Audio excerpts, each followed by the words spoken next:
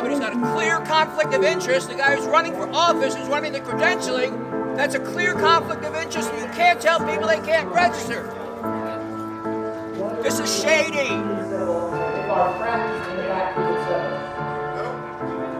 Fuck you!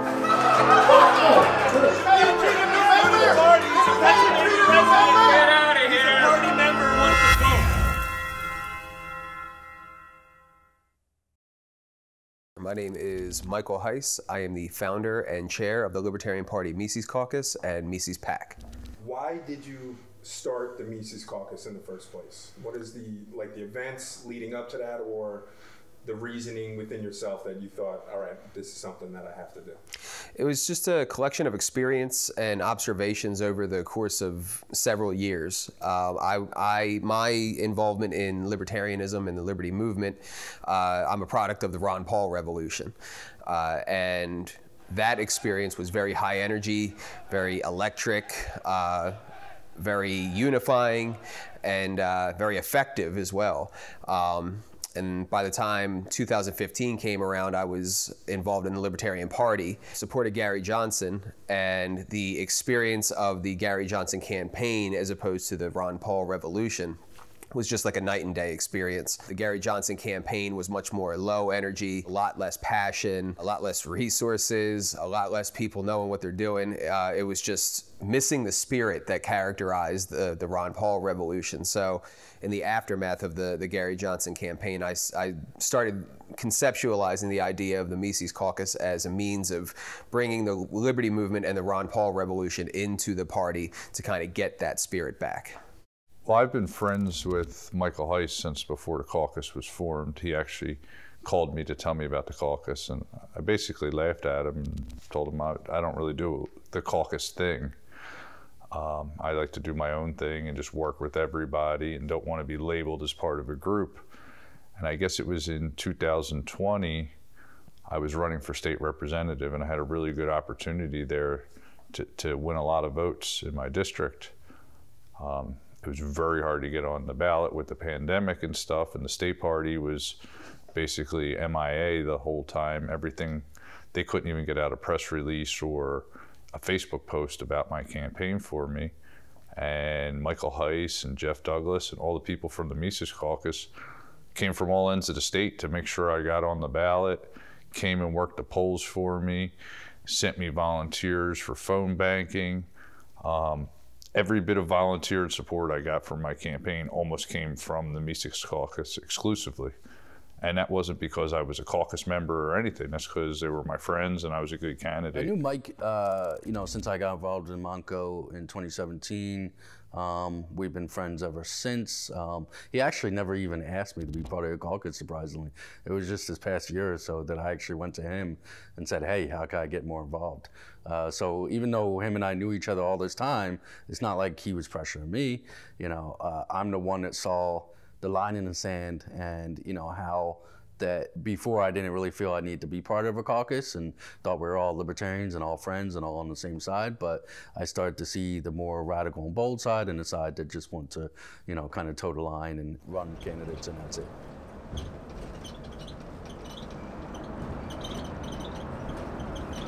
We're still in very good shape nationally. If they lose here, it's over nationally because we already have the majority in California, we already have the majority in Florida. That's one, three. This is number four. We've already taken Nevada, we've already taken Kentucky, we've already taken New Hampshire, we've already taken uh, uh, West Virginia, we're about to take Delaware. We were already 60% of the delegation last year, and and uh, our candidate this year is actually from California, has way deeper roots. The opposition was there from literally day one. I mean, um, I had been on social media, I had been kind of kicking around the idea of the Mises Caucus uh, and bringing the movement into the party and this kind of thing for months, but I hadn't actually like committed to it. Uh, and then the day that I made the Facebook group, literally hours later, the chair of the party at that time, uh, Nick Sarwark, had said that the Mises Institute was the preferred think tank of Nazis. Um, and when you've got that kind of thing coming from the chair of the National Party, it kind of works its way down and sets the tone and sets the standard. So that's exactly what happened, and it just escalated from there. So now everybody that was supportive of the chair, or more broadly supportive of the kind of vision that that chair had, which is, I would say, still characterizes the majority of leadership today, uh, has kind of taken that tone and protected people that take that tone with us. I mean, what, in your opinion, is that like? Where is that coming from? What's the At basis? that point, I don't actually think that we, the caucus, were the inspiration. Um, we are now because we've become a real force inside the party. But um, that chair, Nicholas Sarwark, he had expressly said that his goal was to take the party to the left. Um, and the Mises Institute, Ron Paul, all you know, Judge Nap, all these guys that are associated with the Mises too in that sphere of libertarianism. Um, most of them are more personally conservative, more personally traditional, and all that kind of thing. So um, I think it was an effort for of of Sarwark to kind of cement the deal and start cutting off the party from the more right-oriented or, or uh, conservative-oriented libertarians as a part of this move to take the party to the left as the identity politics and the woke politics and all that stuff started to rise in the country. I don't follow a lot of what goes on nationally, and it seemed like a lot of the blowback to the caucus was nationally when it first started, and then it kind of spilled over into this state somewhere towards the end of 2019 with the uh, Maj Toure campaign. And the funny part is, I remember the convention before Maj's campaign, and they were searching Maj Toure around for city council in Philadelphia. And that 2019 state convention, everybody was like, we got to run a good city council candidate in Philadelphia. And that, that was a lot of the talk at that convention. So then Michael Heise shows up and says, I'm friends with Maj Toure. Why don't we see if he could run? And everybody's like, oh my God, that would be amazing if Maj runs for city council. Mike, Mike's like, I'll make the phone call. So the last day of the convention, Mike announces that Maj is going to run for city council. And Michael Heise was like the hero of that day. I mean, they almost paraded him around the room on their shoulders. They were so excited that Maj Toure was going to run for city council in Philadelphia, and Mike made it all happen. Fast forward through his campaign and towards the end of his campaign, people running his campaign trusted not so trustworthy people. A lot of shady things went on. People were unhappy about this thing or the other thing. The campaign wasn't this grand success that everybody thought it was. In my mind, I thought the campaign was a success because Maj brought the libertarian message to the streets of Philadelphia. I think that freedom of speech, you know, um, the ability to say whatever you want, even if it's vile, even if you disagree, even if I disagree with it, I'm always going to defend somebody's uh, ability to make themselves look like a fool in a free space. I don't measure success of campaigns by how many votes you got, but how many people you've reached with the message. And I thought Maj did an incredible job re- reaching people with this message. But a lot of people in the party went full blown attack on Maj and anybody that supported him after his campaign. Mike, being the loyal person he is, stood up for his friend and the campaign he worked on. And then the attacks immediately left Maj, went to Michael Heise, and next thing you know, Michael Heise was enemy number one of the state party in Pennsylvania. I would say um, it's all about losing control. If if you had a social club that you uh, you know you were the cool kid in, would you be okay with a thousand more people coming in that social club and you becoming irrelevant? I, I don't think so. You know, so this is more so just um, pushback against that. You know, us as libertarians and us as people in the Mises Caucus, we want to grow the party by bringing these small L libertarians um, into the actual Libertarian Party, and that's going to grow astronomically.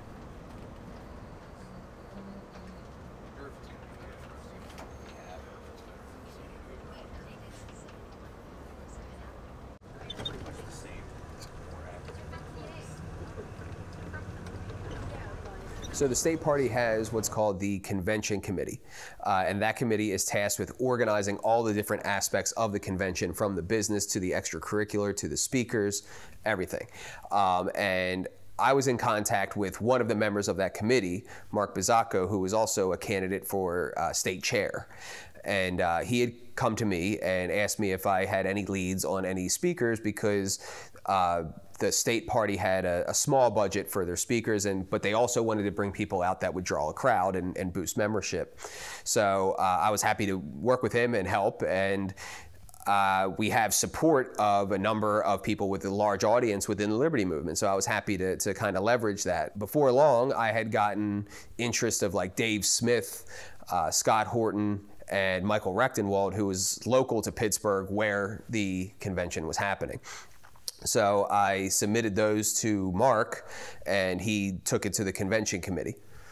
Ultimately, what I was told is that uh, they did not want Dave, that he was quote unquote divisive, uh, and that he would he would uh, chase more people out than he would bring in, and that they didn't want Michael Rectenwald for similar reasons.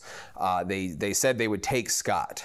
Um, but I had told Scott and I had told Mark that that's not how this is going to work. I mean, Scott is very good friends with Dave. You know, we're not going to offer you these AAA speakers and and you basically disrespect two of them and then just pick the one that you want and it was also politically motivated. I mean, they'll never admit it, but the, the truth of the matter is, is that they know that Dave, in particular, would draw a crowd of people and and get them to become members, and that the type of people that he might draw in to become members isn't going to vote for leadership the way that they wanted people to vote.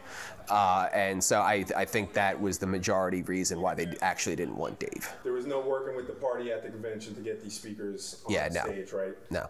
Yeah, they and and that's why the decision was made eventually to create our own event. It's like we're doing everything we can for you. We're trying to pay for these speakers. We're trying to boost the turnout. We're trying to recruit members, which is the same thing as bringing money into the party. And then you're basically just going to slap us in the face and say, oh, well, we might lose, so we don't care about the interests of the party if it means we might lose. So from there, I just said, oh, well, if you don't want our speakers, that's fine, but we have our own resources, we have our own audience, and we we can platform whoever we want, so we're just going to do our own event. Hey, I'm a Toastmaster. I can handle this. First of all, I have to thank the Mises Caucus for inviting me to speak to you today. And it's great for you people to come out here and spend your time for liberty. We, we got to make that a habit here in Pennsylvania. Yeah. We, we're going to need a bigger room next year, though. My name is Mark Bizzacco, and I'm running to be the chair of the Libertarian Party of Pennsylvania. if we don't have taxes, who will build the roads? She actually said that. I always thought that was just a Facebook joke. It's real. They actually say that stuff. Uh, most of us get our news from TV. And on TV, they never explain. They never say, here's who's who, here's who's occupying who, here's a little bit of background about what's going on. Because as Ron Paul talked a lot about, libertarians are uniquely positioned to work on coalitions, single issue coalitions with both the left and the right, where nobody has to give up their principles. Stop lying about us and tell the truth. And then let's have an honest conversation about where our differences are, okay? Let me just state this for the record. This is who we are. We are the Ron Paul Army. The Mises Caucus candidates took all seven positions on the board.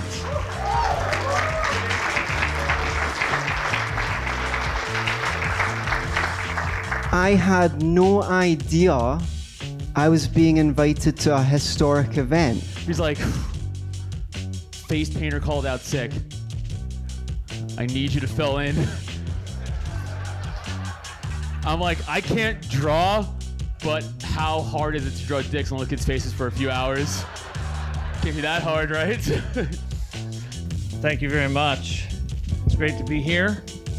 This is my hometown. I'm actually a Pittsburgher. I have that in common with Ron Paul.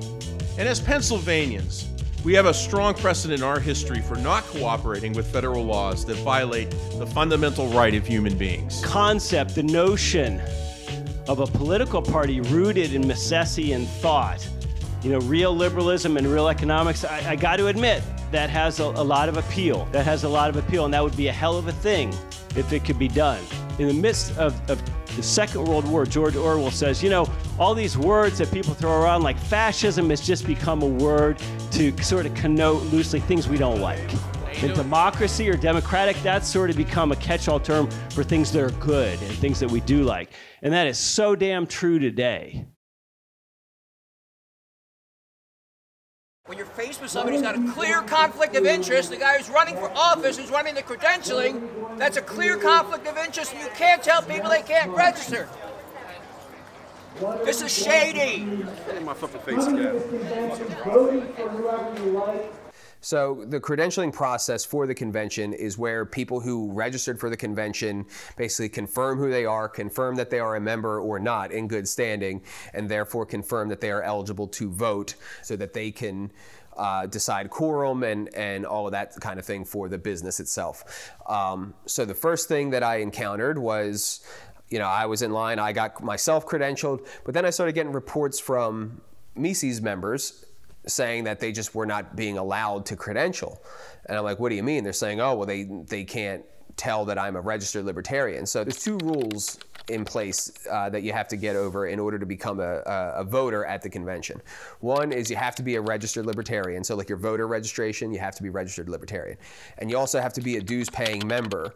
Um, now, if you want to clear the rule, you have to be a dues paying member for 180 days.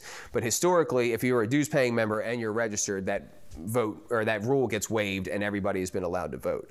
But uh, the, what I ran into that morning was people saying, well, no, I have been a 180 day uh, member and I'm a registered libertarian, but they're saying that I'm not registered. They're saying that in the database that they are not registered libertarians, Yeah. even though they are, have emails from the state Yeah. showing that they registered libertarian. Yeah. Now, it's part, part of it is because we have a primary election, and there's like a cutoff date with the primary election. So they are now trying to apply that to the party when that detail is not in the bylaws. Um, so I had to go onto that computer and type in my give it, type in my name or my driver's license number, and it shows up with um, my registration. I don't know why um, why that computer or that database is getting it, but their database isn't. Makes no sense, and it, it's not showing your name when you put in your things. I don't know if they're going to try to screw people over that way. They try to. I'm do- here at the 2021 Libertarian Party State Convention of Pennsylvania, and the credentialing committee is stepping outside of the bylaws. I was the chair of the Judicial Committee for several years here, so I have a very good grasp of the bylaws. What they've been doing, well, what the bylaws say is that you need to be a registered libertarian unless prohibited by law. And if somebody somebody is not in the state's database, it's called the Sure database. Well, the Sure database is not reliable. If you're not in there, they're saying, well, you can't you can't be a voting member. But in the bylaws, it says you just have to be a registered libertarian. In every convention, this is my 29th convention. Every convention I've ever been to, if there's if that has been an issue, right on the spot, you fill out the voter registration form, or you go online, you hit the submit button. You see, I'm a registered libertarian. For some reason, well, I actually got the reason. Uh, the guy who's running the credentialing he set an arbitrary date of May 3rd that you had to be registered in the SURE database. Well, first of all, the SURE database is unsure. And second of all, it's not in the bylaws to say by May 3rd. There's no cutoff date specified. So they're operating outside the bylaws. And the worst part is, the guy who made that decision is running for vice chair. My name is Adam Reinhart. I'm the chair of the membership committee and partially responsible for the debacle at credentialing this morning.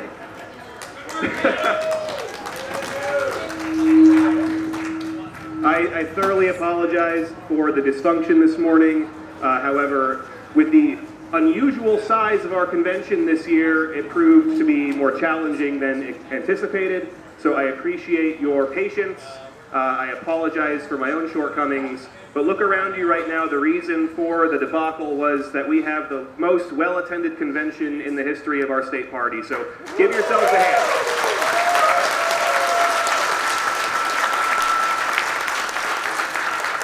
the fact that a candidate uh, running for Eastern Vice Chair was involved in the credentialing process and had the major say in all things that were happening with credentialing, that's that's really fishy to me. Um, you know, whether it was malfeasance or whether it was just an oversight, um, I would say that a person of true morals and principles would exclude themselves from from being involved in that. just because of the conflict of interest. Order!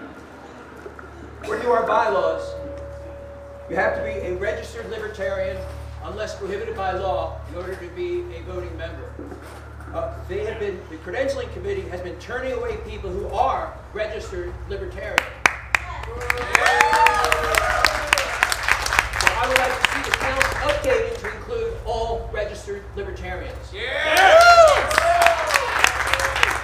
I was not registered as a Republican or a Democrat. This is, I went out of my way to register as a libertarian this time. So the bylaw states that you have to be a paid, uh, dues-paying member of the LPPA. Correct. And that you have to be a registered libertarian. Correct. Okay, so people are signing up in front of the credentialing committee and providing proof that they are a registered libertarian. There's no details in there that says we have to use such such and such system. They are using the state website to show that they registered libertarian, and they're being turned away. You're turning away registered libertarians. You register people to vote. This is the document that matters, not some clerk that puts your information into a computer.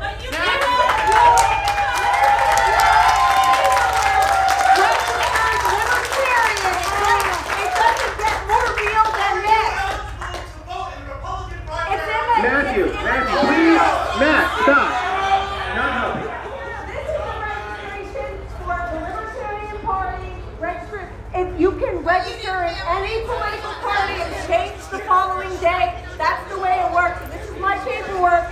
I came, I drove three hours to be here. I paid money for a hotel. I'm a dues paying member. I have put thousands of hours of volunteer time into the Libertarian Party nationally and state, and I would appreciate my right to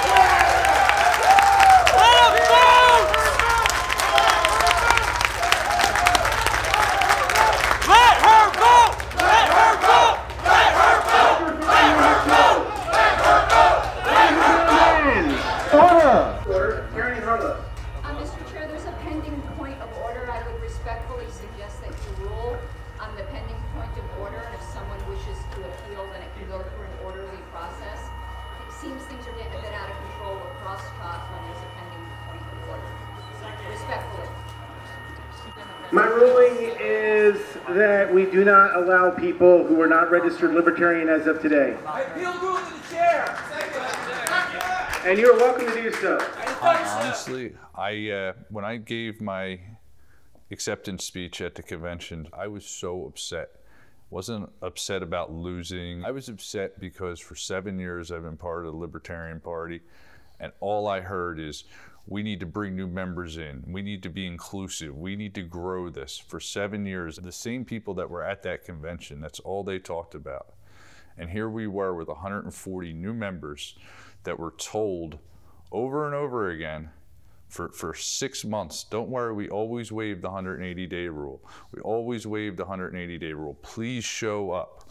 These are people that were candidates for office, they were elected libertarians, they were newly formed county chairs. These are people that for six months the state party was bragging about their accomplishments and begging them to show up at the convention, insisting that they would be voting members. And then the day came. And the establishment party saw that if we allow these members to vote, we're going to lose control. We will not be the ones running the party. I'm pretty disappointed. Uh, kind of, it was kind of expected. Um, the 180 day rule, I was kind of half and half on um, whether that would really happen or not. So the rule itself is you it's not your registration, it's your dues paid membership. You have to be a dues paying member for 180 days before you can vote in the convention or you can become a delegate or anything like that. And normally on something like this, you can't undo that, but there is a waiver right in the bylaw, the rule itself, saying that the members can can waive this rule and allow the new members to vote. As far as uh, how long has that membership or that rule been waived, uh, the entire history of the state party is my understanding. Uh, my understanding, I, I could be wrong, but my understanding is it has never ever been waived, and the, the state party has been around for like 40 years. The older guys that have been around 20, 30 years, this gets waived every year. There are a shit ton of out of state people that are voting members, and they're going to vote to not allow this to happen. That's what they're here for, to stop the new people, which probably we brought in, uh, to be able to So, vote. dude, there's haters. There's haters from Mississippi, Illinois, uh, Michigan, New York. Every hater in the country is here because I'm telling you, this is the Alamo. If we win here today, it's over for national, and they know it. namely because of, some, of a certain faction that has publicly stated takeover, takeover, takeover.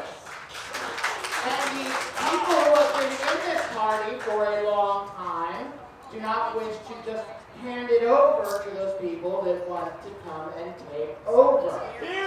There are more people registered for this convention that are less than 180 days. That means they haven't even been to a meeting with the state board, let alone have any stake in this party. I do not get any people under 180 days. Let me speak. Shut the hell up.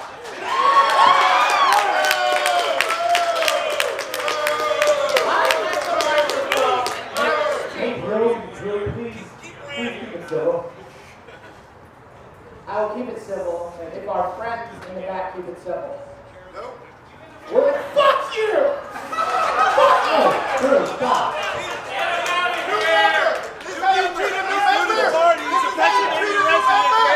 He's a party member who wants to vote, and you're trying to deny individuals that are Pennsylvania residents to vote. Order, order! Point of order, Matt Sherry. Matt, please go to a microphone and make your point of order. Matt, you Do your have mine. fucking job, I'm Mr. Chair. Matt, you can have mine. I'm done. Fuck you!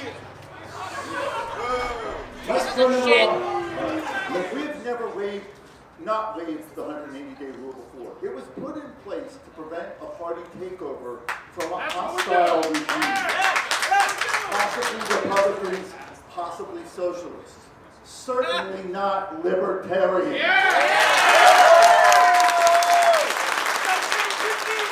There have been people who said that waiving the 180 day rule is an extraordinary measure, only to be used in case there's a hostile takeover. This is a hostile takeover. This is a attempted takeover of people who are legitimate and have to fight for. Who want to make the Libertarian Party acceptable only to, well, very angry white men. And oh,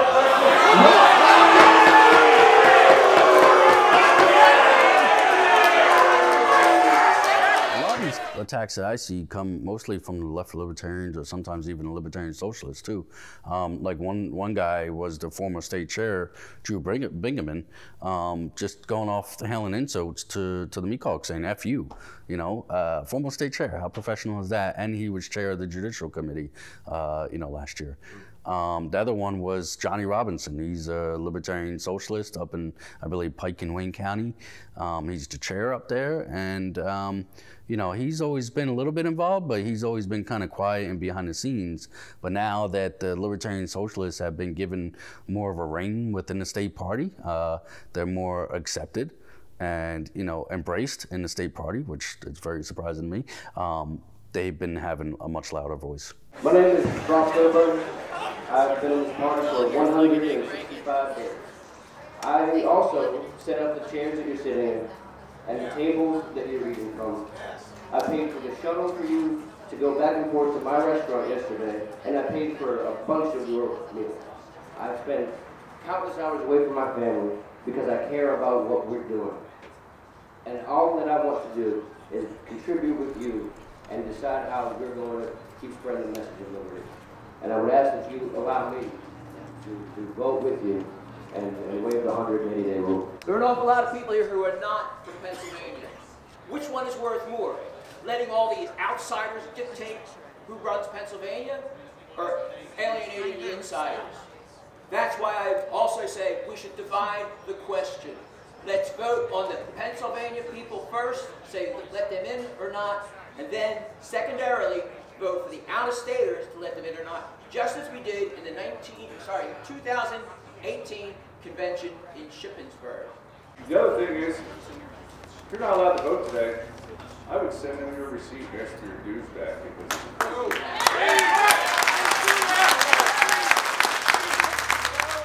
The vote has always passed to allow new members to, to be able to vote at the state convention under the 180 day rule.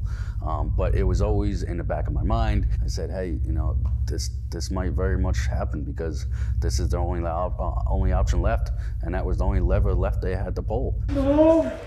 72, no. Do not waive the rule. The rule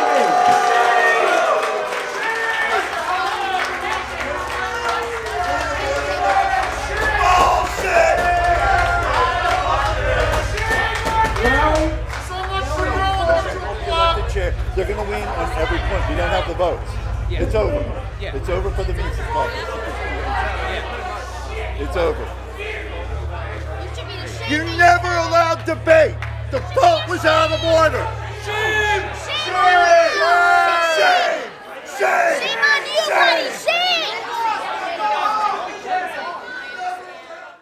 some of it is good people that, that have been fed lies that are they, they, a lot of it is people who have come into the party through the the Jorgensen campaign uh, and they came in through people that they trust because those people are in positions of leadership in their county or they were in positions of leadership at the state uh, for the state campaign for the president.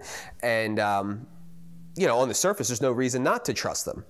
And so they were brought in by these people and then told all kinds of awful things about us. You know, so there's this phenomenon where I've been in the party for six years, and up until recently, most have a good relationship with almost everybody and don't really have too many people with bad things to say about me. And now we're, I, there's this phenomenon of like people who have been here seven, eight months uh, who are just absolutely positively assured that I am a transphobe uh, who have never talked to me.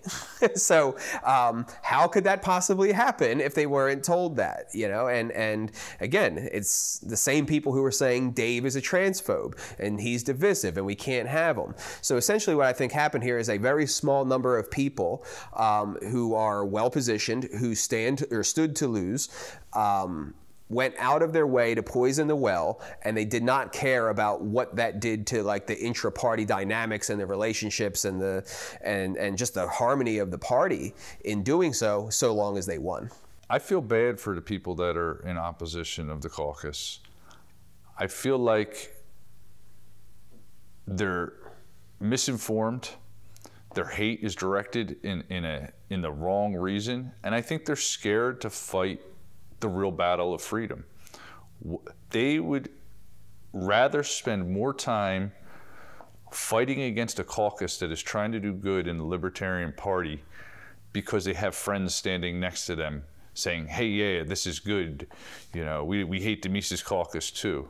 But they're not going to their township meetings and standing up against corrupt politicians or bad laws.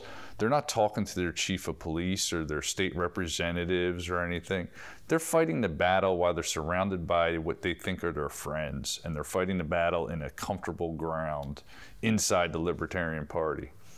So if if you ask me what I should say to them, I think they should also grow some balls and take the fight to the people that want to infringe on our freedom and our liberty. Well, number one, I appreciate your perseverance, and it is our perseverance that's going to see us through this whole thing, and it's what has seen us through this whole process to this point. You know, because like I said, from the day one, we were being called Nazis, we were being called racist. But um, our perseverance through that, even when we lose, has now built something to where we are winning more than we are losing. So if we just keep that attitude and we and we don't lose heart and we keep showing up and we keep talking to people, keep working with people, keep recruiting, keep the spirit of the Ron Paul revolution going, then uh, I think we're going to win out in the end. And I think when we win out in the end, we're going to win the narrative battle because the pattern so far has been in the states that we take over, uh, we do a very good job. The membership goes up, the revenue goes up, the amount of events going on goes up. So reasonable people see that and come our way. I am not going to beg them to let me speak. I am going to inform them that they will not shut me up. But I also think it's reasonable to request that people stop lying about us. That's all that I ask. Stop lying about us and tell the truth. And then let's have an honest conversation about where our differences are, okay? So, what I want to just say tonight, I want to just make it unambiguous and be very clear about who we are. So, let me just state this for the record. This is who we are. We are the Ron Paul Army. That's who we are, okay?